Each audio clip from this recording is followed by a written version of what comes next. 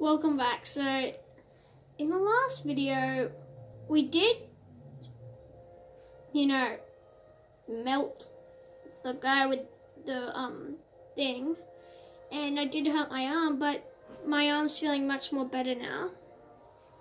Just needed to put a bit of water on it.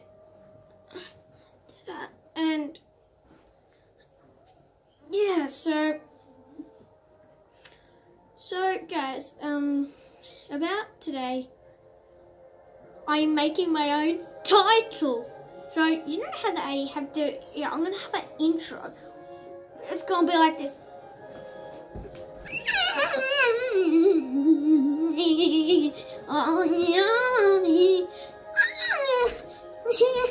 Something like that.